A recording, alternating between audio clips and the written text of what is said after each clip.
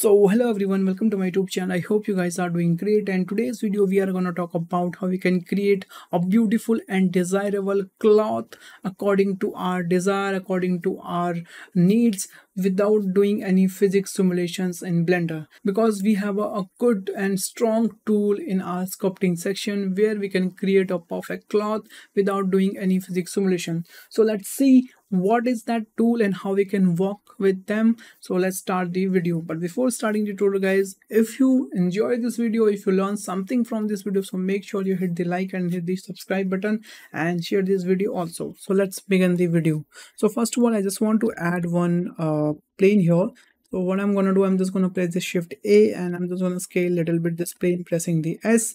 Then I'm just gonna edit mode this plane pressing the tab. Then I'm just gonna subdivide. So right now I'm just gonna subdivide 200 times so we have a good mesh so we can create a perfect and smooth cloth. Alright. Then after that, I'm just gonna switch my uh, mode from here to the sculpt mode and then I'm just gonna scroll it down.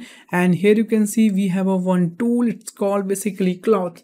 And with this tool you can create a fabulous fabric. So what i what you have to do you have to just click this tool and then you have to just drag it something like that. First time it will take little time. Then you can just drag it and here you can see these folders are gonna create it very nicely. Okay. So now what i'm gonna do i'm just gonna increase little bit radius and little bit in strength also. Now here you can see I'm just gonna create a perfect and beautiful cloth. Let's see how it's gonna work. Yeah, that look nice.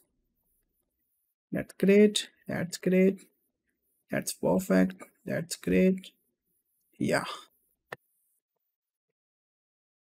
That's cool by the way.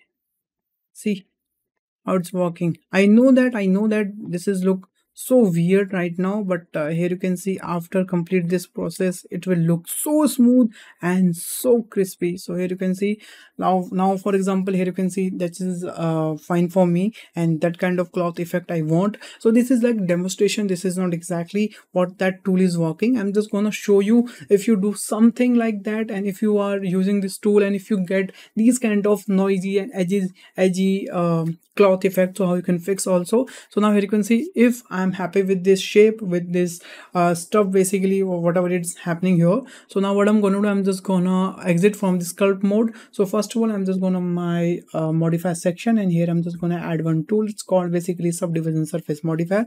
Here you can see it's almost looking pretty good but still there are some lines. So for that what i'm gonna do i'm just gonna right click and do shade and auto smooth and bang here you can see we have a perfect cloth here.